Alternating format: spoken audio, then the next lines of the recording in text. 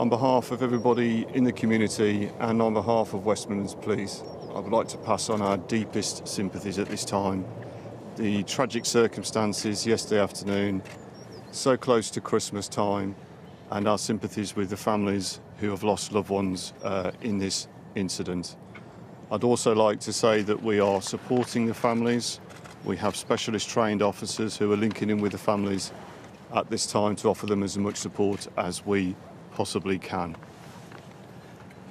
We've also linked in with the local schools which the children attended within this area and the schools are also offering support to any pupils who may wish to receive support at this awful time. Our officers were quick to respond at the scene yesterday afternoon and having worked very closely with our colleagues from other emergency services went into the lake itself to help rescue the children and to try and assist them um, as quickly as we possibly could. We've worked very closely with our colleagues in West Midlands Fire Service and also in West Midlands Ambulance Service, and this has been a real joint effort. It is incredibly sad that we do not have any better news for you today regarding yesterday afternoon's incident. That's all I have to say at this moment in time. I'm going to pass over to, to my colleague now from the fire service and then we'll, we'll be open to take any questions. Thank you, Richard. We are deeply saddened by the death of three boys who were rescued by our firefighters yesterday here at the lake in Solihull. The boys' deaths are a tragedy beyond words, and the thoughts and heartfelt sympathies of everyone here at West Midlands Fire Service are with their families, friends, and the wider communities at this distressing time. Yesterday's incident is a stark reminder to us all of the dangers of open water, especially during the winter months. Frozen lakes, ponds, canals and reservoirs can look picturesque, but they can be lethal. And there are no greater warnings of this than yesterday's tragic events. We would ask parents and carers to remind their children of the dangers of ice and why they must keep off it. Please help us to avoid this from happening again. We will continue to work closely with our emergency service colleagues and provide any support that we can at the scene.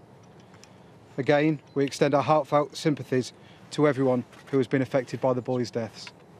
Thank you. Superintendent Tom Parmenter from Sky News. Can you just give us some information regarding the ongoing work here at the lake and whether or not there are further people unaccounted for? So yes, yesterday evening we had a number of different reports suggesting numbers of young people that may have been on the lake.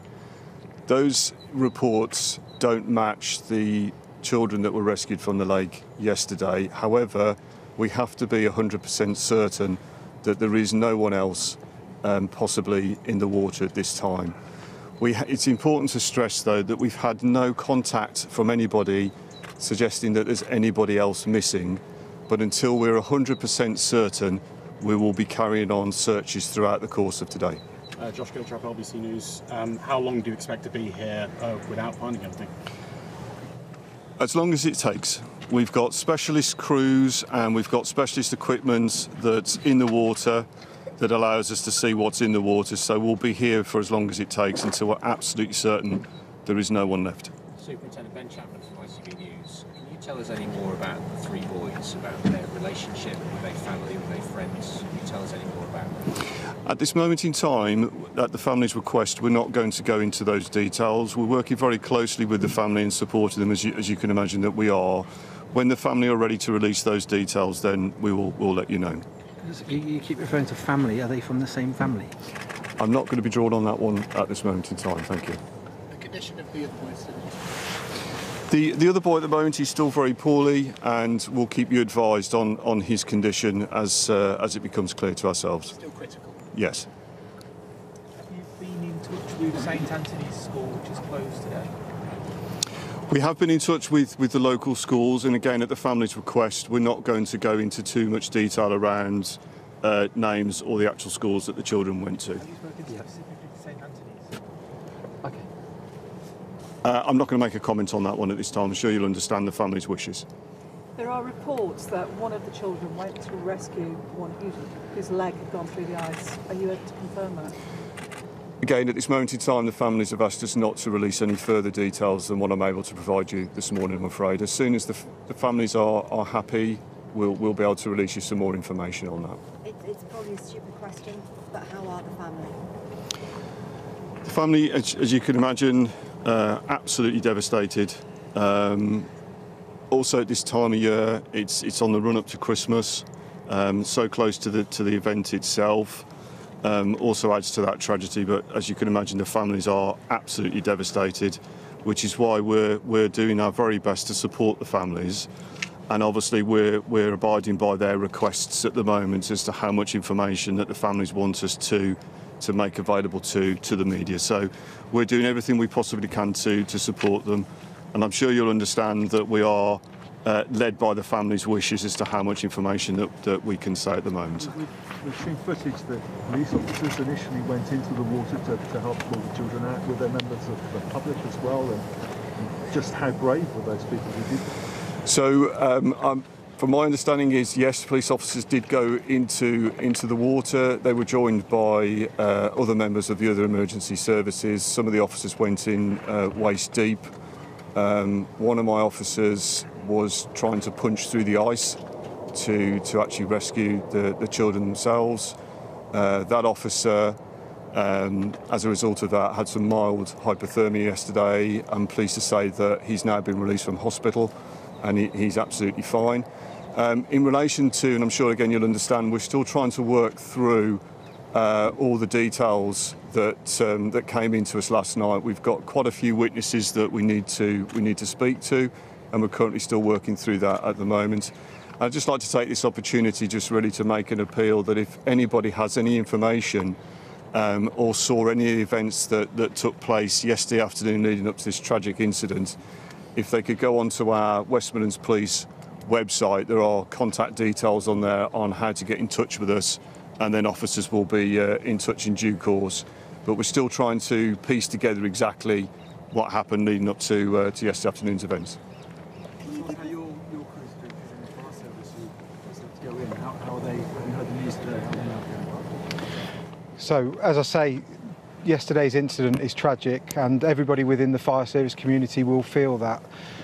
They did everything they could under the circumstances to get into the water, to rescue the four boys, and to bring them out to uh, the ambulance service so that they could receive treatment.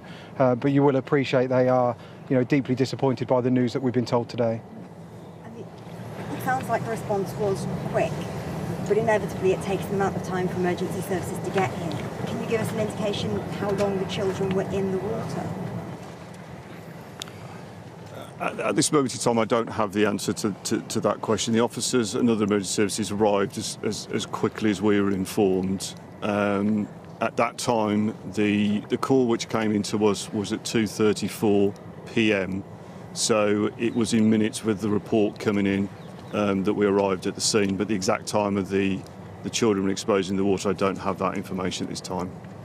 Once you arrived on the scene, do you then know how, how long it took to actually locate them and get them out?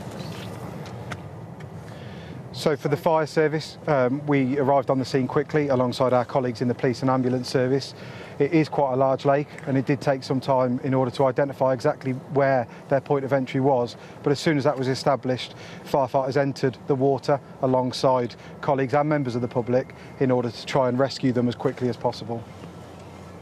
Went in, I assume you went in without for the police and fire safety equipment, just straight in the, the, the officers went straight in, yes. We, they were, um, without regard for their own safety, they, they entered the water in just their normal trousers and shoes, which is what I'm wearing today. So they went in dressed as I am. And a very similar picture for the fire service. Our initial crews that arrived on scene made their way straight into the water in their normal firefighting kit. And then when the specialist water rescue teams came along, they entered the water with, with different levels of PPE. Do you have any more information as to why hypothermia is any helping effects for the fire service? There are no injuries to firefighters that I've been made aware of.